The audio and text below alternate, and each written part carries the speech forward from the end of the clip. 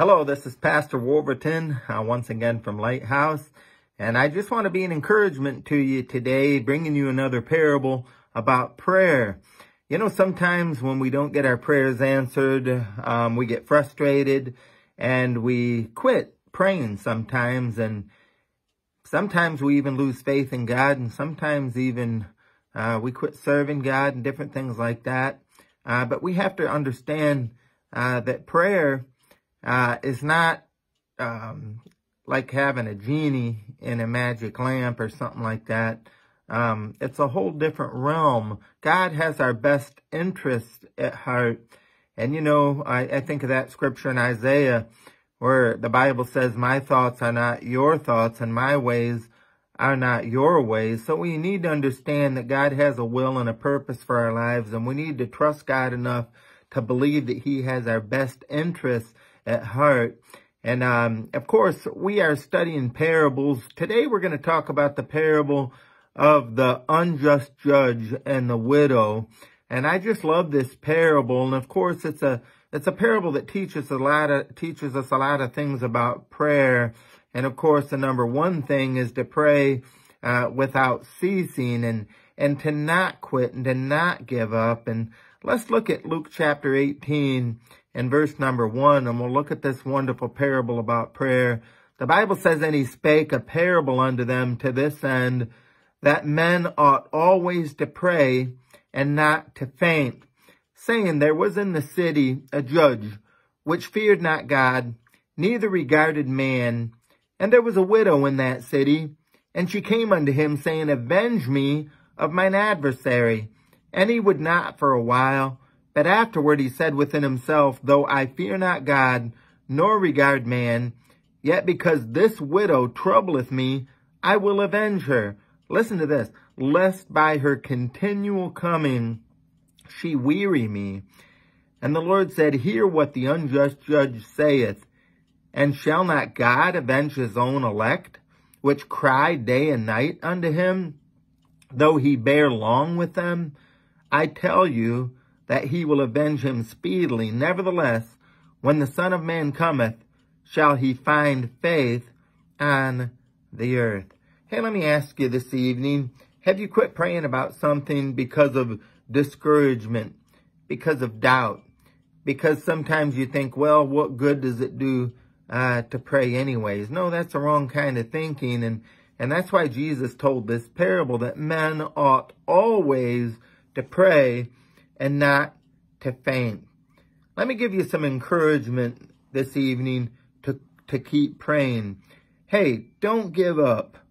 Why? Because simply put, there's too much at stake. Uh, we shouldn't give up. Uh, there's just too much at stake. How about uh, a situation, maybe you're praying for a loved one to get saved and, and maybe you quit praying for him because you figure, well, uh, God's not going to do it. It's never happened. They've never gotten saved after all these years. Hey, listen, uh, there's too much at stake. Uh, heaven versus hell. Eternity is a very long time. So we must not give up. And, and, you know, maybe praying for a prodigal, maybe praying for somebody that's away from God.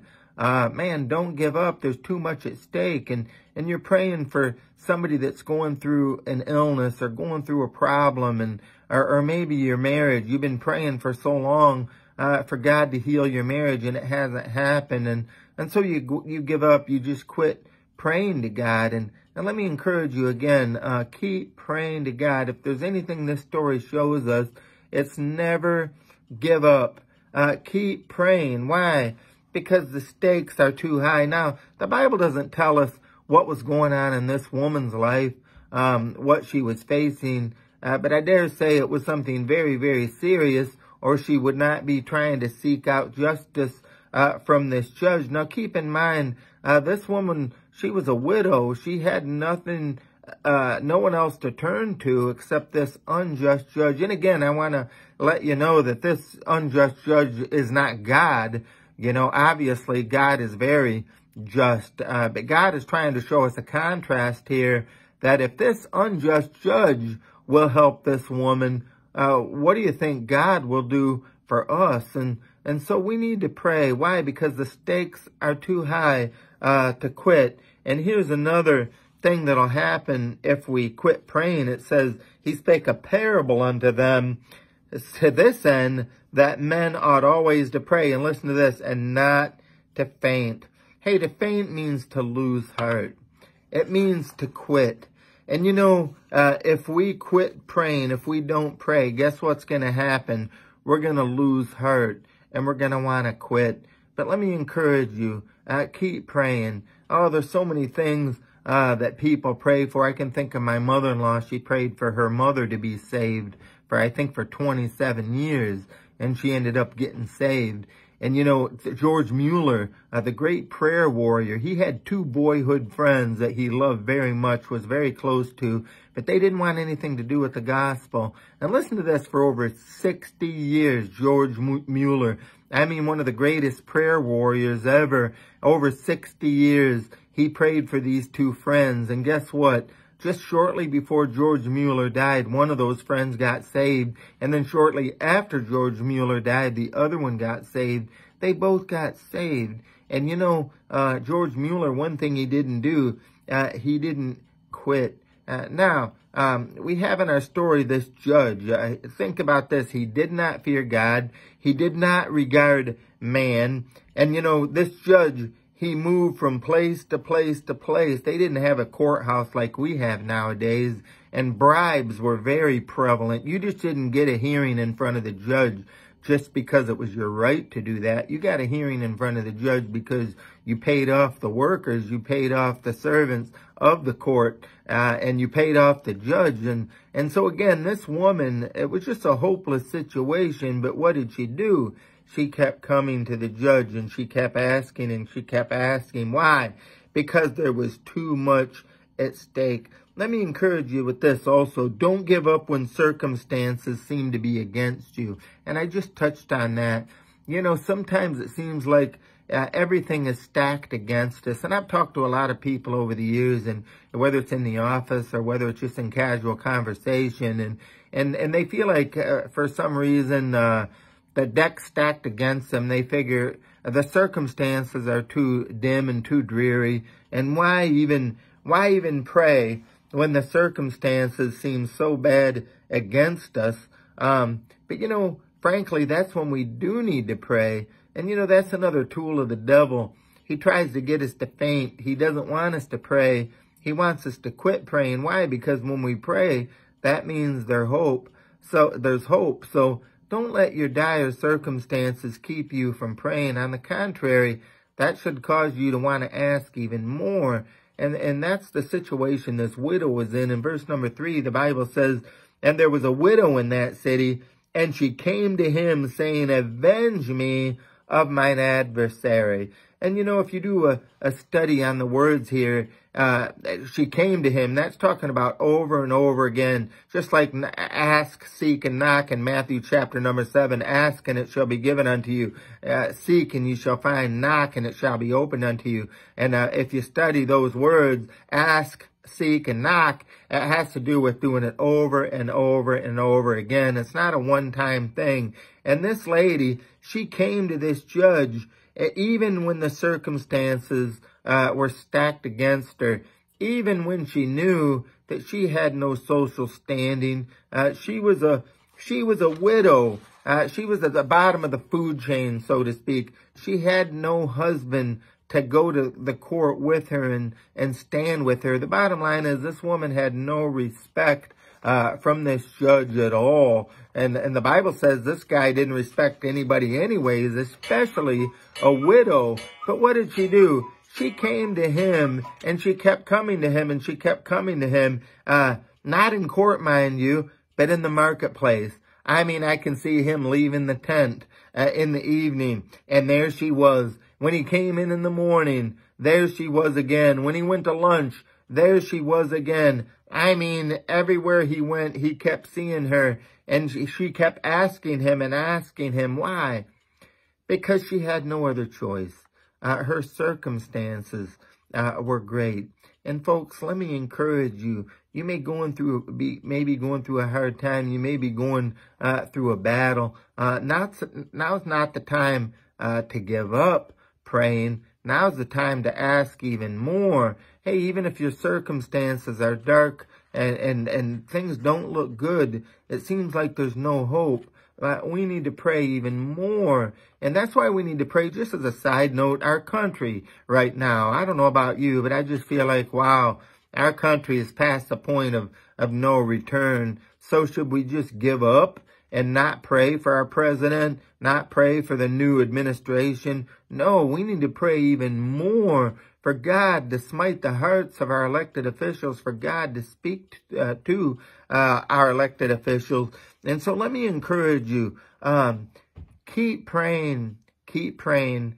Don't give up. You say, well, man, my circumstances are pretty bleak and things aren't changing. Why should I keep wasting my time uh, to pray? Well, here's the answer. Don't give up. Why? Because the answer might be just around the corner. You know, I don't know how many times in my life when all of a sudden God will just surprise you with something, you know, and, and man, those are the best surprises at all. When you, when you're not even expecting it, that all of a sudden God, uh, just speaks to your heart and, uh, and just does something in your heart. Or maybe it's a physical thing, maybe a monetary thing, whatever. And, and all of a sudden, boom, God's God comes through. And, and this woman, I don't know how long she was after this judge, but, but the Bible says that he would not, and, in Luke chapter number 18, verse number 4, and he would not for a while.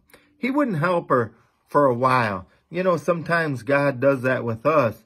You know, he makes us go through this, these time periods for a while when he doesn't seem to be speaking to us, when he doesn't seem to to care. Uh, we think that, but we know that he does care. And the Bible says again here in verse 4, and he would not for a while, but afterward he said within himself, Though I fear not God, nor regard man, yet because this widow troubleth me, I will avenge her, lest by, listen to this, lest by her continual coming she weary me. So the judge kept refusing, but she kept coming. And that's what we need to do. We need to keep going before God. You know, that word troubles me uh, is interesting. She's wearying me. She's literally wearing me out. And you know, honestly, he wasn't trying to help that woman because of compassion. He wasn't trying to help that woman because of justice. Simply put, it was self-preservation. She was driving him insane. So what did she do? She kept coming to this judge and asking and asking. And little did she know the answer, the help was right around the corner. You know, I wonder how often we quit talking to God, we quit praying, we quit, quit asking, and the answer was right around the corner. And you know what? We don't know. Our, our timing is not God's timing. That's for sure. So what we need to do is we just need to keep trusting God and we just need to keep asking and asking. And, you know, I can think of people that have prayed for, for people to be saved. And many times I've, I've gotten the good reports and I prayed for X amount of uh, weeks or months or even years or even decades and people got saved. And so, you know, you just never know. I'm going to read you uh, an excerpt from from uh, John Wesley's um, diary. Maybe you've heard this illustration before, but it's amazing uh, to me how we keep being faithful, we keep praying, we keep trusting God, and all of a sudden God will open up the windows of heaven. Listen to this uh, piece from a uh, page from John Wesley's diary. It reads this, Sunday morning, May 5th, preached at St. Anne's, was asked not to come back anymore. Sunday p.m., May 5th, preached at St. John's, a deacon said, get out and stay out. Sunday, May 12th, AM service. Preach at St. Jude's. Can't go back there anymore. Sunday, PM, May 12th, preached at St. George's. Kicked out again. Sunday AM, May 19th, preached at uh, Saint somebody else's, and that they called a special meeting and said I couldn't return. Why? Why did they say that he couldn't return? Because they thought he was a heretic. Uh, that's why. Um, but anyways, May nineteenth, uh, he preached on the street, and he was kicked off the street for his so-called heresy. Um, Sunday, May 26th, he preached in a meadow and he was chased out of the meadow by somebody that on purpose let a bull out into the meadow while he was preaching. Listen to this. On Sunday, June 2nd, he preached uh, at the edge of town and he was kicked off the highway. And that evening, he preached in a pasture and 10,000 people showed up. Wow, think about everything that that John Wesley went through and some of these early uh, church um, forefathers, uh, what they went through. And uh, but they just kept preaching. They just kept praying. They they realized, hey, I'm doing what God wants me to do, and the and the results were not good. But guess what? All of a sudden, God opened up the windows of heaven and poured them out a blessing. So don't give up, folks. The answer might just be around the corner. Here's another thought. Don't give up because God is working. You know, realize this, just because you're not seeing results does not mean that God is not working. I think about the apostle Paul. You know, he got saved, but, but before he got saved, God was working in his heart and in his life. And Jesus even said to him on that road to Damascus, he said, hey, it's hard for you to kick against the pricks, isn't it? uh, Saul of Tarsus, and it was because God had been moving in his life. Uh, my own testimony, and my father, um, he got saved through a series of events, um, but guess what happened? Uh, God, for a long time, was working in his heart and in his life, and then he ended, he ended up getting saved. So don't give up, folks. Realize this, God is working, and again, God's timing is not our timing and his will is not always our will. Let's look at it in Luke chapter number 18, verse 7. The Bible says this, And shall not God avenge his own elect, which cry day and night unto him, though he bear long with them? Jesus is saying, hey, we have this unjust judge who helps this person, and he's an unjust judge.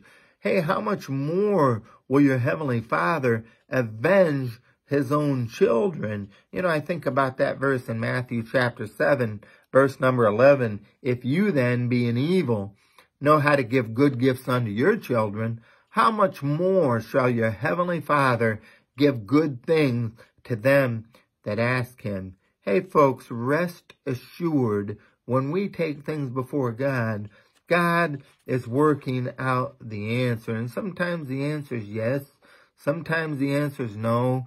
And we know sometimes the answer is, is maybe later. And so in any of those scenarios, we just need to trust God that he knows best.